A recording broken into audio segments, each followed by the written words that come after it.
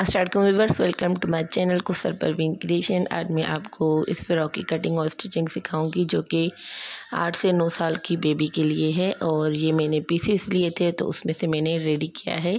तो इसकी कटिंग और स्टिचिंग मैं आपके साथ डिटेल में शेयर करूँगी और ये बहुत ही प्यारा लग रहा है और बहुत ही स्टाइलिश तो चलते अपने वीडियो की तरफ़। ये पीसेस हैं, जो जिनकी लंबाई या चौड़ाई मैं आपको बता दूँगी, इसको मैंने प्रेस करके इस तरीके से रखे हैं। इनकी जो प्रिंट्स है, वो इस तरीके से है कि ये जो है ऊपर वाला ये मैं फ्रंट करूँगी, इसकी अलग थोड़ी प्रिंट है और ये बैक वाला जो इससे बड़ा है, ये इतना बड़ा है इससे, तकरीबन तीन से चार इंचेस तो इसके नाप मैं आपको बता देती हूँ।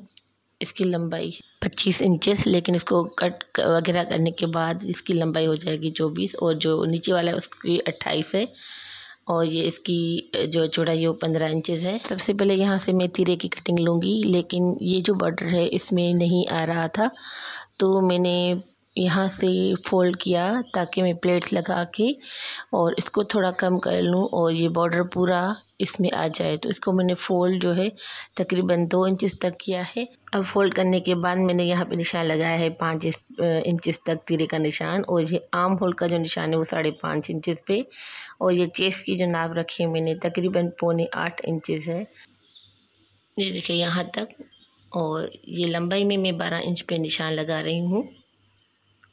और यहाँ से मैं सीधी लाइन ड्रॉ करूँगी। और यहाँ से, यहाँ तक जो मैंने पौने आठ इंच में निशान लगाया था, इसको यहाँ से अटैच कर लूँगी। ये देखें। और ये जो मैंने निशान लगाया था, यहाँ से लंबाई से यहाँ तक मैंने एक और लाइन ड्रॉ की है। मैं बताऊँगी क्यों मैंने ये ड्रॉ की है। यहाँ से मैं शोल्डर की गोलाई ले रही हूँ आम होल की, सॉरी। तो यहाँ से मैं इसको कट करूँगी। और इस लाइन तक इसको कट करना है। बाकी इसको यहाँ से सीधा कट कर देना है, जहाँ तक मैंने लाइन ड्रॉ की थी। और नीचे से भी मुझे इसको बराबर रखना है तो मैं इसको फालतू जो कपड़ा है वो ट्रिम करूँगी। और ये जो मैंने पॉइंट बनाया था, इसको मैंने यहाँ तक कट कर दिया है। बारह इंच की लंबाई पे जो मैंने लाइन ड्रॉ की थी तो इस पर ये इस तरीके से चुन लगेंगे। कट करने के बाद इसकी लंबाई चौबीस आ रही है और मुझे पच्चीस से साढ़े पच्चीस चाहिए। यहाँ पे मैं स्लीव्स कट कर रही हूँ। वैसे तो स्लीव्स में चौदह बनाती हूँ, लेकिन मैंने यहाँ पे डेढ़ इंच बढ़ा दिया था। इसको मैंने सोलह इंच पे कट किया है। तो मुझे दो इंच मैंने ज़्यादा रखे हैं और यहाँ से इसका मोड़ है पाँच इंच साढ़े चार से पाँच इंच मैंने इसका मोड़ रखा है और इस तरीके से मैंने स्लीव्स कट की है। इसकी लंबाई मैंने इसलिए ज़्यादा रखी है क्योंकि इस पर भी एक डिज़ाइन बनेगी जिससे उसकी लंबाई कम हो जाएगी। तो ये जो मैंने मोड़ के रखा था, इसको मैं इस तरीके से निशान लगाऊँगी।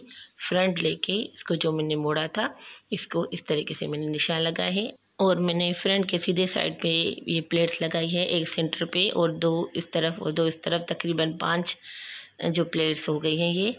अब मैंने फ्रंट को प्लेट्स लगा के कम कर दिया है तो इसको मैं बैग के साथ रख के देखूँगी कि ये बराबर है या नहीं। अगर आपको लगे कि आप प्लेट्स लगा के बराबर नहीं कर सकते तो आप पहले प्लेट्स डाल के उसके बाद ही कटिंग करें फ्रंट की, यानी बैक पहले कटिंग कर लें, उसके बाद फ्रंट में प्लेट्स लगा के और फिर फ्रंट की कटिंग कर लें। और ये मज़ीद इसको मैं ट्रिम कर लिया है मैंने फ्रंट को, और जितना बड़ा हुआ था वो भी ट्रिम कर लिया। यहाँ से मैंने सिलाई लगा ली जो मैंने कट लगाया था, और उसके बाद इसको बराबर करके इस तरीके से यहाँ से बराबर होना चाहिए।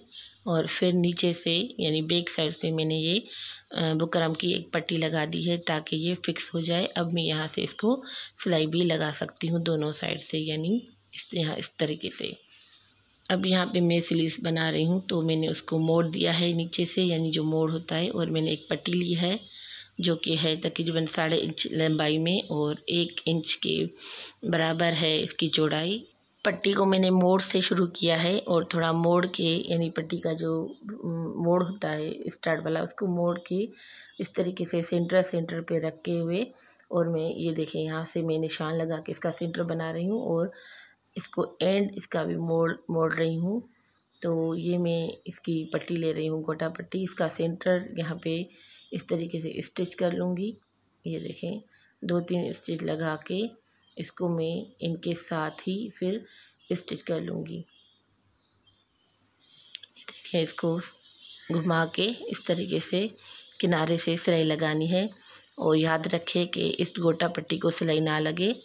यहाँ से डबल में सिलाई कर लूँगी नीचे से और सेम इसी तरीके से मैं इसको भी अंदर करके दूसरी साइड से और इसकी भी किनारे की सिलाई लगा लूँगी। इस तरीके से ये देखें। और मोड़ के सिलाई को यहाँ से डबल कर लूँगी। अब इसको डोरियों को जब खींचेंगे तो इसमें इस तरीके से चुन बन जाएँगे। ये देखें, ये बहुत ही प्यारे लगते हैं। अब इसके मैं टसल बनाऊँगी डोरी के। टसल बनाने के लिए मैंने इसका ये मैचिंग वाला कंट्रास्ट वाला कपड़ा लिया है। तो मैंने इसको इस तरीके से यहाँ पे लेस लगाई है। लेस लगाने के बाद इसके ऊपर ऐसा ही सेम कपड़ा लूँगी। ये मैंने आठ जो है पीसेस कट किए हैं। और दो एक टसल में आ जाएँगे तो मुझे चार टसल बनाने तो चार में ये आठ यूज़ हो जाएँगे। इस तरीके से मैंने लेस को लगा के इसको पलटा दिया है और इसमें ये डोरी इस तरीके से रख के और यहाँ से भी मैं स्टिच कर लूँगी। ये देखें, इस तरीके से। मैंने दोनों स्लीव इस तरीके से रेडी कर ली हैं। अब मैं इसके गले की कटिंग करूँगी। ये तकरीबन ढाई से तीन इंच इसकी चौड़ाई और लंबाई है। मैंने अंदर से कटिंग किया है और अब मैं यहाँ से इसके शोल्डर ज्वाइन करूँगी। शोल्डर ज्वाइन करने के बाद मैंने इसमें स्लीव भी ज्वाइन कर ली हैं और अब इसकी मैं साइड की सिलाई लगाऊँगी। सिंपल सी लगानी है, उसके बाद ही ये पट्टी लगाऊँगी। तो मैंने साइड की सिलाई लगा ली है। और ये देखें इस तरीके से। अब ये इसके जो चुन थे, यहाँ पे मैंने बुकरम लगाया था। इसके ऊपर मैंने पट्टी रखी है।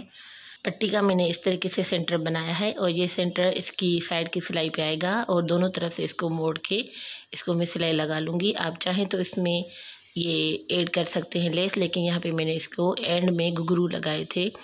यहाँ से मैंने इसकी स्टार्ट की है मोड़ मोड़ के इसको मैंने स्टार्ट किया है। और यहाँ से इसको इस तरीके से रखा है कि आपका जो कट है वो छुप जाए और ये सेंटर पे लग जाए कट के। तो इस तरीके से आराम से आप लगा लें। बहुत ही आराम से लग जाएगी और ये पट्टी बहुत ही अच्छी लगती है। आप चाहें तो यहाँ पे लेसेस वगैरह ऐड कर सकती हैं। पट्टी के ऊपर भी आप लेसेस वगैरह लगा सकती हैं। यहाँ पट्टी लगा के फिर मैंने इसके घेर पे बॉर्डर लगाया था, इसी कलर का, यानी इसी कपड़े का लेस के साथ। ये देखिए, इस तरीके से मैंने लेस रखी, उसके नीचे मैंने बॉर्डर रखा। और जो ये लेस है, ये मैं सीधे साइड पे लगा रही हूँ फ्रंट के सीधे साइड पे। लेस को मैंने, यानी जो है, सीधा साइड लेस का आपके फ्रंट के सीधे साइड से मिलना चाहिए। इस तरीके से मैं इसको फिनिश करूँगी और बॉर्डर जितना आपको लंबा चाहिए रखें तो मुझे एक इंच से डेढ़ इंच चाहिए तो मैं इसको इस तरीके से एक्सटेंशन के तौर पे यूज़ करूँगी। ये देखिए मैंने इसको बढ़ा के इतना रखा है और नीचे से पिनअप करके इसको ऊपर से मैं सिलाई लगा लूँगी।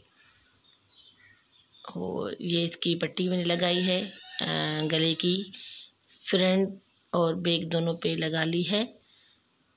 कट लगाया है बटन का बैक साइड से और मैंने ये सीधे साइड पे पलटाई है ये पट्टी। तो ये देखें, ये रेडी होके इस तरीके से हो जाएगा। यहाँ पे घुंघरू लगाए हैं, ये एक्सटेंशन पट्टी है। ये देखें, बहुत ही प्यारा लग रहा है। और पीछे से मैंने बटन पट्टी भी रेडी कर ली थी पट्टी लगा के, क्योंकि मैंने उसको रिकॉर्ड नहीं किया। उसकी काफ़ी वीडियोस मेरे ऑलरेडी चैनल पे अपलोडेड है कि कैसे पट्टी लगाते हैं और किस तरीके से ये जो गले की पट्टी है मैंने पलटाई है। उम्मीद करती हूँ आज का वीडियो आपको पसंद आया होगा। थैंक्स फॉर वॉचिंग अल्लाह हाफिज़।